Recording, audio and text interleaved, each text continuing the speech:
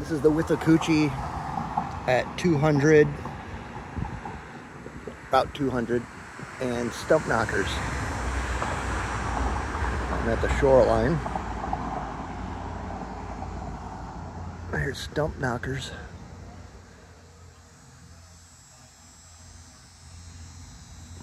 It's expected to go up two to three feet. I'm not sure if this is the two to three feet or if it's got more to go.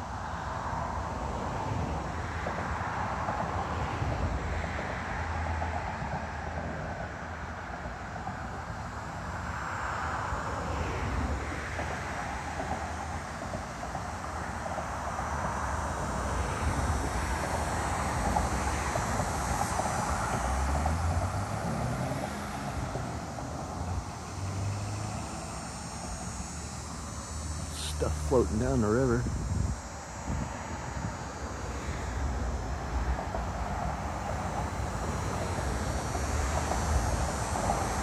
I might have pictures of this area. I definitely have pictures of walking down here. It was not like this.